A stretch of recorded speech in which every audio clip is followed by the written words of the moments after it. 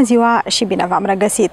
Ne aflăm la Trestia, unde se lansează monografia acestui sat. Iar aici vom sta de vorbă cu un om minunat, artist fotograf, scriitor, ziarist, iubitor de natură și de tradiții. Haideți să-l cunoaștem pe Nicu Jeanu.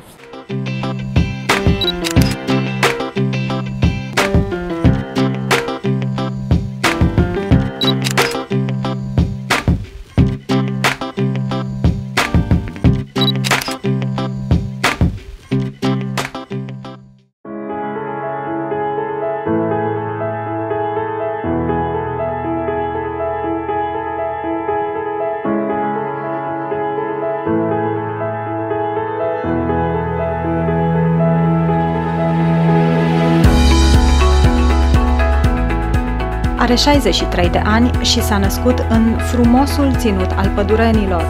Nu se putea să nu îndrăgească muntele și tradițiile românești. Nicu Jeanu ne povestește despre satul românesc și despre lipsa de interes a românilor pentru turismul bine făcut.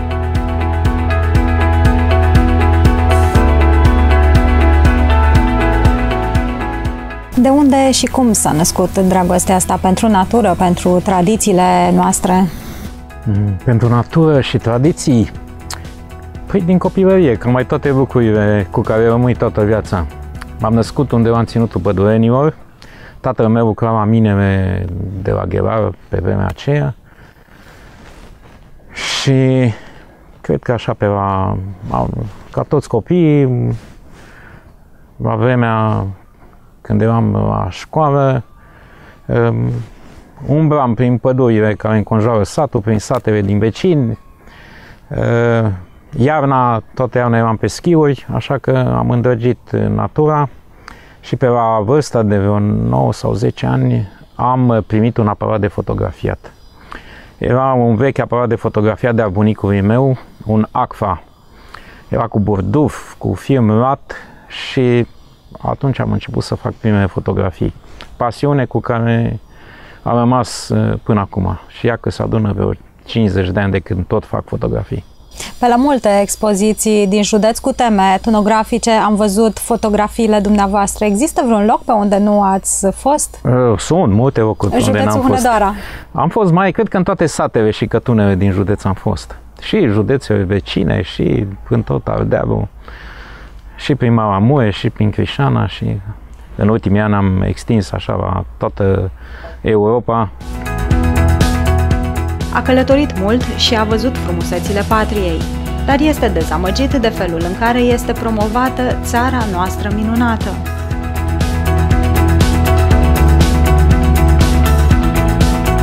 Toată Transilvania este extraordinar de frumoasă și nu numai Transilvania, ce să mai vorbim de Bucovina sau Gorju, avem o țară frumoasă. Ce facem ca să o promovăm? Din păcate nu prea facem ce trebuie ca să o promovăm. Uh, de curând am fost în Maramureș și uh, acum am întâlnit la Săpânța un, uh, un japonez. Cum credeți că ajunsese? A văzut un reportaj în Japonia despre Săpânța. Și omul era tare mirat, m-a întâlnit pe uliță după ce împarcase mașina și uh, s-a uitat la mine și văzându-mă cu un aparat uh, japonez de gât, uh, să mă întrebe, el în ce țară e aici? Zice, nu vă supărați, în ce țară suntem, în România sau Ungaria? Păi zic, în România. Sigur, zice, doamne, zic, absolut sigur, suntem în România. Și de acolo a început povestea, omul venise pentru că a văzut un reportaj cu săpânța și mai știa de uh, Uh, mocănița de pe Vaser.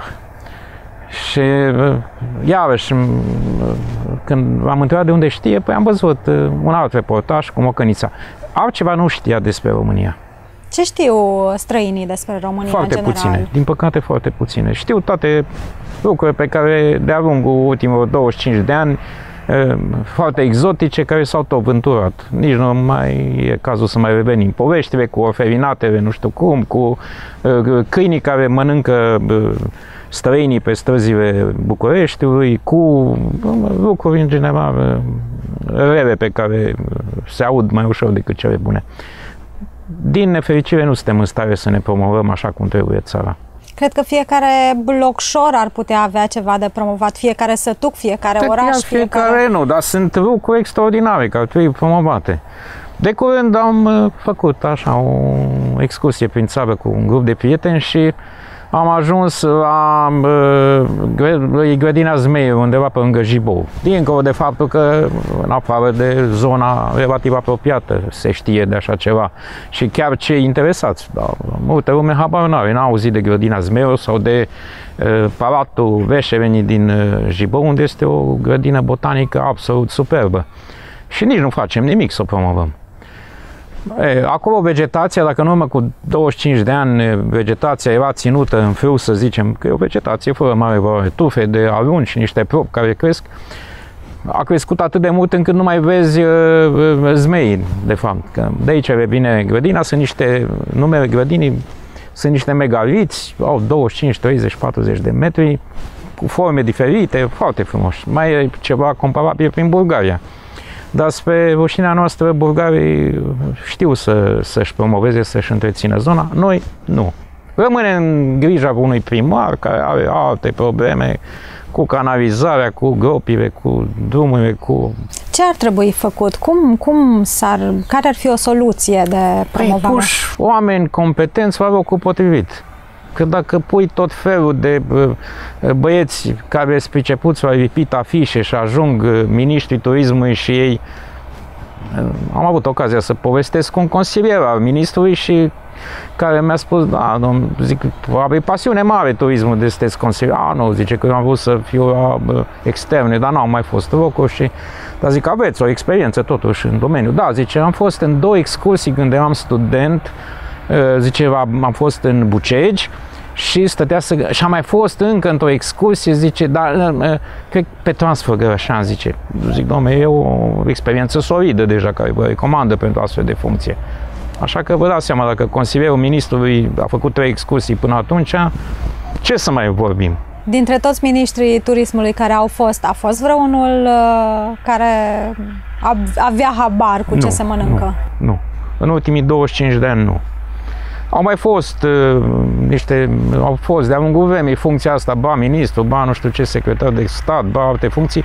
Erau câțiva care, să zicem, erau uh, uh, proprietarii unor uh, firme care erau în domeniul turismului, dar uh, turismul înseamnă mai mult decât a fi, știu eu, patronul unei firme de turism.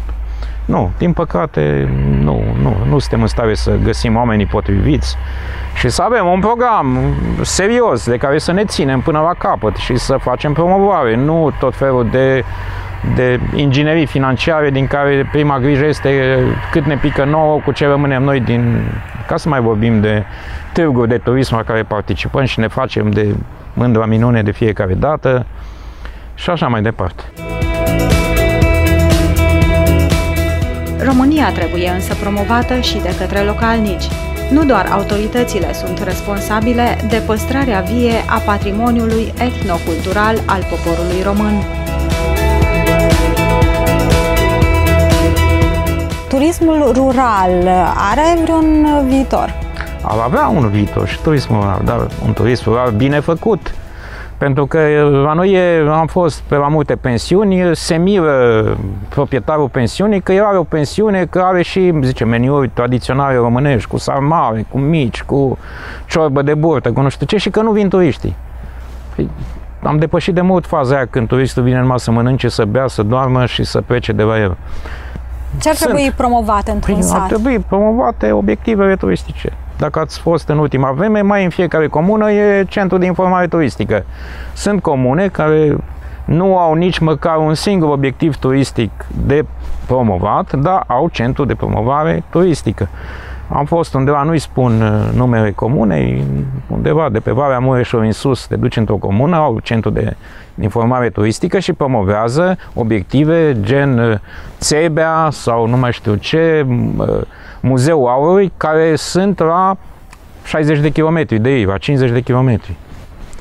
Sau, iarăși, centre de astea de promovare turistică și domnișoara de acolo habar n-are cam ce obiective turistice ar putea fi în zonă.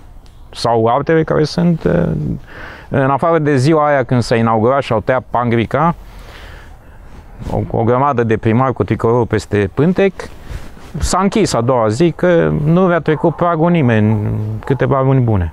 Deci nu știm să-i atragem pe turiști. Dacă faci centru de uh, promovare turistică sau de informare în, aici, în Trestia, păi când ajuns în Trestia, omul e aici deja. Fără undeva, unde trece turistul și spune, bă, vezi că este comuna Trestia, satul Trestia, cu nu știu ce obiective turistice, ca să mai vorbim de faptul că ajunge în niște sate care ar avea niște obiective turistice, o biserică de lemn, alte obiective E, e o întreagă aventură să poți să vizitezi o biserică dintr-un sat. Ca să nu mai spun că undeva, iarăși, într-un sat din județ, de curând s-a restaurat pictura într-o biserică de lemn, o pictură superbă. S-a reparat biserica. E, și au pus un panou mare de mare în marginea drumului cu fotografiatul interzis, ca și când ar fi, nu știu ce, obiectiv de importanță strategică.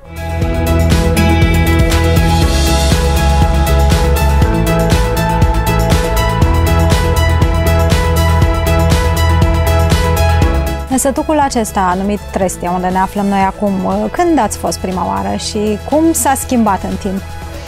Cum l-ați descoperit? Am, am, am venit prima dată ca să urc pe muntele care se vede acolo.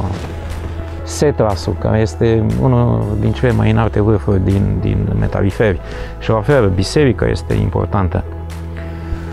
Schimbarea e în sensul că au apărut uh, birele astea pe care le vezi peste tot. La fel le vezi în Maramureș, prin Ortenia sau pe aici, deci nu avem uh, nicio preocupare să păstrăm un anumit stil arhitectonic care să se potrivească cu peisajul. Cu... Mai există case tradiționale? Sunt câteva în sat, sunt câteva case vechi, tradiționale, frumoase, le-am fotografiat, probabil au fost și imaginile selectate și o să le vedem într-o expoziție aici. Sunt, dar uh, ce folos? ar trebui să le promovăm într-un fel sau altul, să fie un pic de deschidere și din partea localnicilor. Dacă vine grupul de turiști și vrea să vadă o casă tradițională, să o poată vizita. Dar dacă nici în biserică nu poți intra și dacă ai intrat, toată lumea este cu ochii pe tine, să nu faci cumva o fotografie. Prin marile biserici din, din lume, da, nu-i voie să faci cu, cu brițul, dar poți face fotografii. Ce să vă spun, am fost într-o biserică de lemn și părintele umbra după mine, deși arătase legitimații și nu știu ce și zic, da, totuși, părinte, de ce nu? Păi zice, domne, s-au furat destule, zice, pe aici, prin bisericile noastre și Păi dacă, și hoțul vine așa pe hoțul față? Hoțul vine așa cu legitimație de ziarist și cu nu știu ce și cu nu știu cum. Pe când îți vine și îți dă o astfel de replică părintele, păi te tot duci. Sunt puține, dar există totuși în România zone frumoase pe care oamenii știu să le prezinte așa cum trebuie oricărui turist.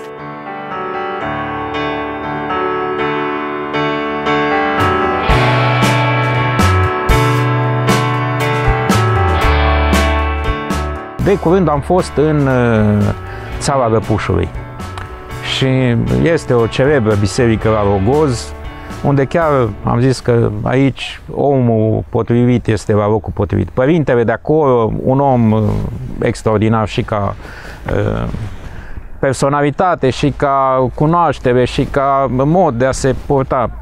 L-am sunat și când ne-am spus că sunt la biserică, venea de la ceva distanță, că stătea în, în, în Târgu Răpuș, a venit în câteva minute, amabil, cu informații extraordinare, deci cu totul deosebit. Din păcate, exemplele sunt, le putem număra pe degetele de la vreo mână, două.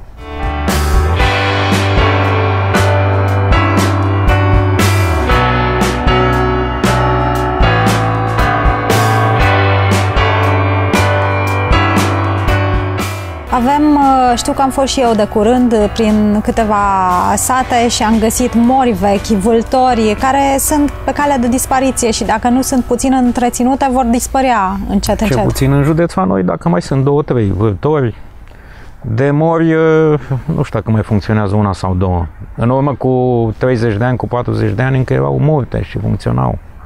Din păcate, încet, încet dispar toate.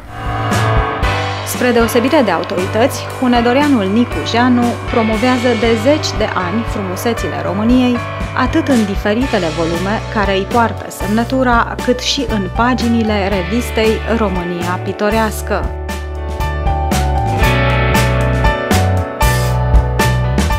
La România Pitorească, când ați început să scrieți? Am început de mult, prin, prin 78, 79 am început să scriu, pe urmă, imediat după 80 am uh, devenit redactor la revistă și colaborez de, de mult cu ei.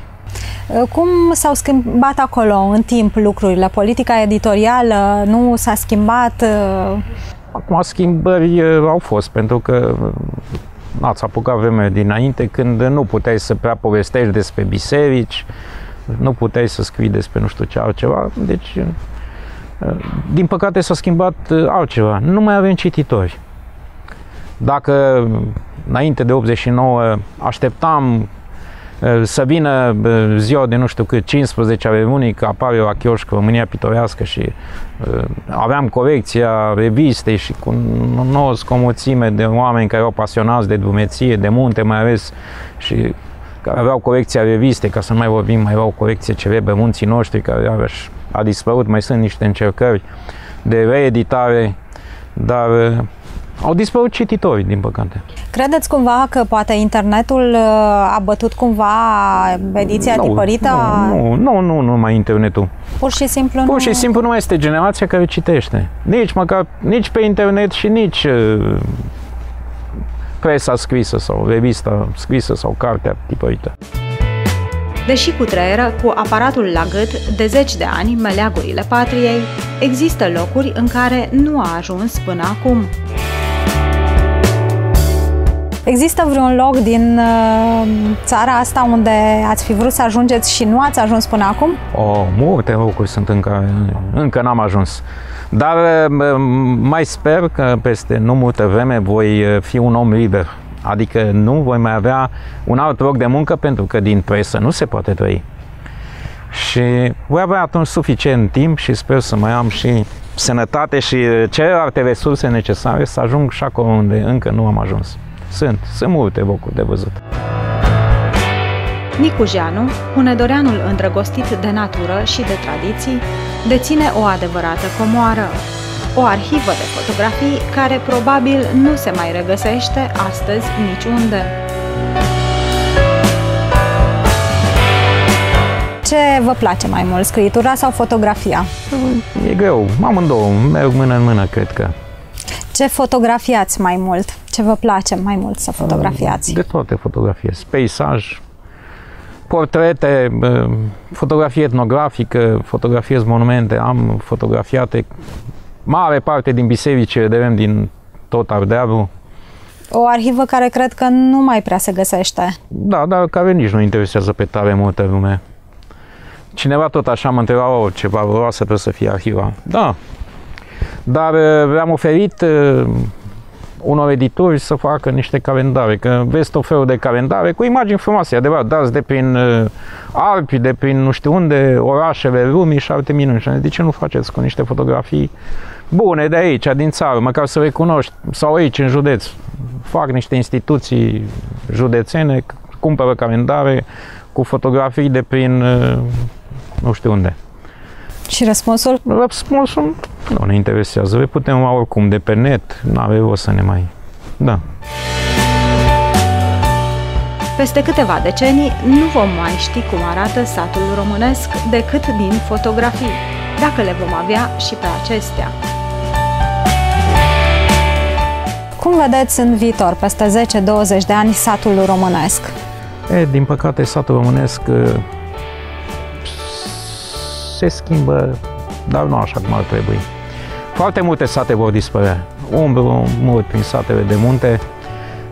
În următorii 20-25 de ani, în județul ăsta vor dispărea cel puțin 50 de sate. Și nu facem absolut nimic. Nici măcar atât să consemnăm starea existentă acum, să mergem, că acum se poate filma, se poate fotografia și cei care trebuie să o facă să se ducă și să mai întrebe pe câte un moș poveștile de acum 60, 70, 80 de ani, mai sunt niște ocupații care vor dispărea, vor dispărea tradiții, obiceiuri, pentru că, și bineînțeles, și turismul va avea de suferit, pentru că într-un sat pustiu, nu știu cine vine să viziteze.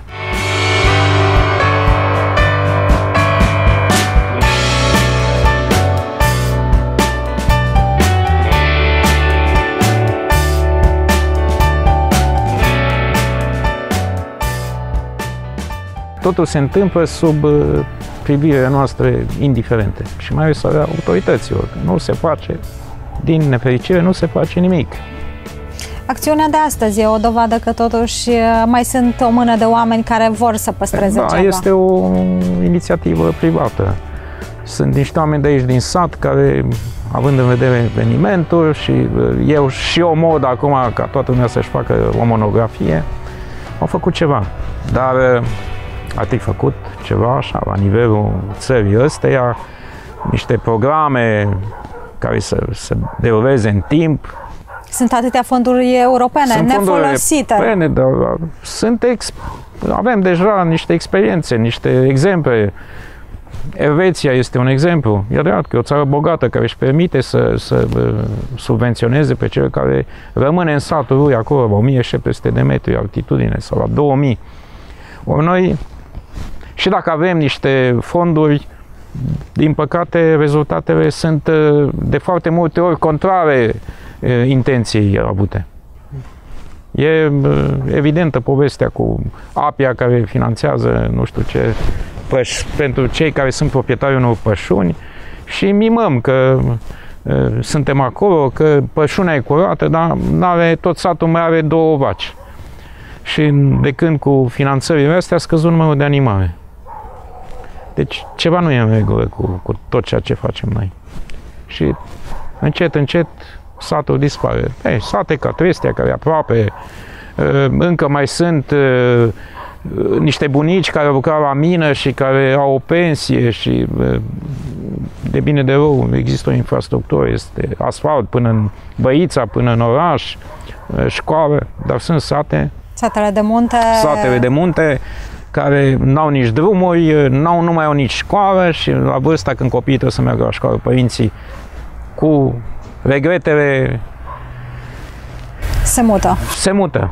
Se duc, se apropie de oraș unde să-și poată da copiii la școală și se gândesc la bătrânețe că cine mai vizitează într-un sat, sunt o grămadă de sate care mai au câțiva locuitori. Este comună care mai are 120 de locuitori. Bătrâna. Bătrâna și câteva sate acolo, într-unul din sate mai trăiesc 4-5 familii. Când se vor duce și cei care mai au 70 de ani acum, satul va fi pustiu. Să sperăm că ne vom trezi la timp și vom reuși să salvăm măcar puțin din trecutul nostru pentru viitor. Știm însă că măcar o părticică din toate acestea sunt păstrate în arhiva de fotografii al lui Nicu Gianu un om minunat pe care ne-a făcut plăcere să îl cunoaștem. Până săptămâna viitoare, dragi telespectatori, vă dorim toate cele bune!